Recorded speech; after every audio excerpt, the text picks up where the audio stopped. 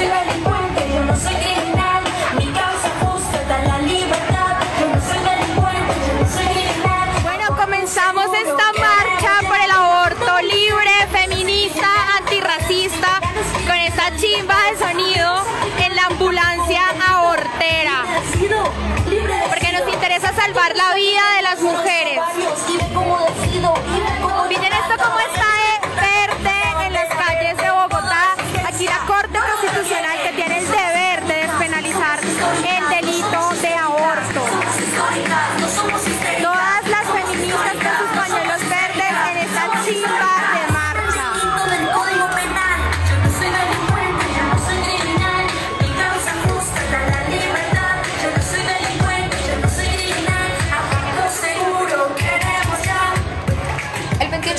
28 de septiembre fue declarado como el Día por el Derecho al Aborto de las Mujeres de América Latina y el Caribe, en el marco del quinto encuentro feminista latinoamericano y del Caribe que se llevó a cabo en San Bernardo, Argentina, en 1990.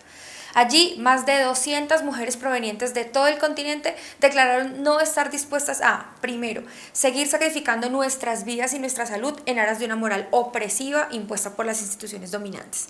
Segundo, seguir permitiendo que nuestros cuerpos sean usados para reproducir el sistema que nos oprime y nos margina. Y tercero, que se siga legislando sobre nuestros cuerpos sin que se tomen en cuenta nuestras necesidades, deseos y sin nuestra intervención.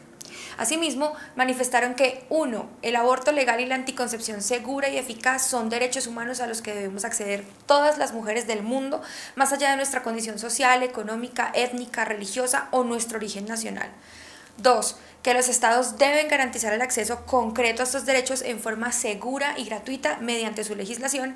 Y tercero, y quizá el más importante, que solamente movilizándonos las mujeres latinoamericanas y caribeñas podremos desterrar y liberarnos de los mitos, los prejuicios, las costumbres y los intereses que por siglos nos condenaron a ser solamente reproductoras de la especie y nos negaron el derecho al placer y a decidir sobre nuestros propios cuerpos y vidas. La, la mujer común, digamos, la que no participa de todos estos movimientos, ¿cómo le llegamos a esa mujer? ¿Cómo le creamos conciencia?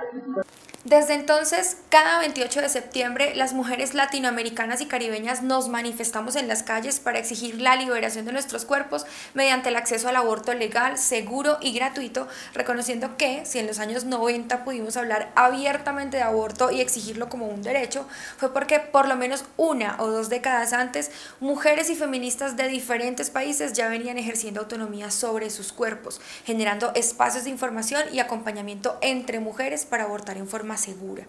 En Brasil, por ejemplo, en 1986, después de que se aprobara la comercialización de un fármaco para tratar las úlceras, las mujeres descubrieron que el uso de este medicamento de Pfizer, cuyo componente era el misoprostol, facilitaba la interrupción del embarazo.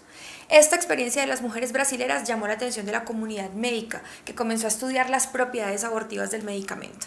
Hoy en día, esta sustancia activa del Citotec se encuentra en la lista de medicamentos esenciales de la Organización Mundial de la Salud, pero no fueron ellos quienes lo descubrieron, fueron las mujeres poniendo a jugar su sabiduría.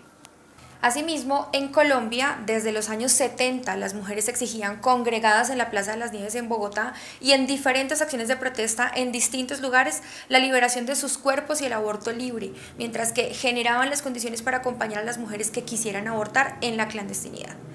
Entonces, ¿será justo que las mujeres sigamos condenadas a escondernos por tomar decisiones sobre nuestros cuerpos?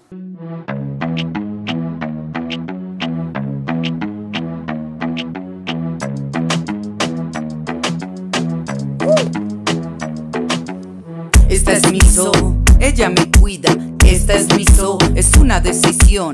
Esta es mi so, buscando salidas, una mi febristona, más es mi soprostol. Empezaron por el verde de la selva, encontraron una planta poderosa, descubrieron en ella los beneficios para usarla. Por esta y muchas otras razones, como aquellas que plantea el movimiento colombiano Causa Justa, el horizonte debe ser la libertad y, por supuesto, la despenalización.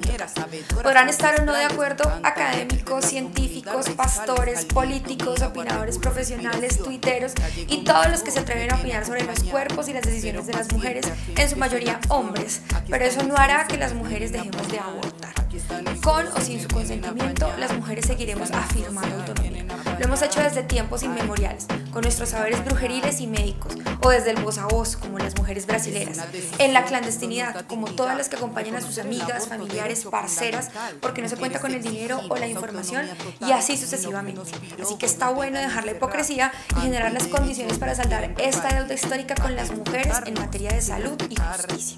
Se espera en menos de dos meses una respuesta de la Corte Constitucional Colombiana en esta. Crea que lo vamos a lograr.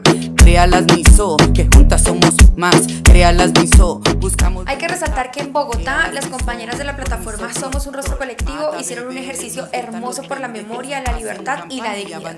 Y llenaron las calles de esta marea verde y violeta que no se detiene. Porque ya es hora, ya es tiempo. Las mujeres rebeldes aquí estamos y no desistiremos. Pueden avanzar con nosotras o quedarse con su pensamiento obtuso y retardatario. Pero cada 28 de septiembre les recordaremos que lo mínimo para que alcancemos una sociedad igualitaria es la despenalización del aborto en forma total. y aprendiendo, juntamos las aguas para seguir creciendo. Con la marea verde nos vamos rodeando. Contra los prejuicios seguimos abortando.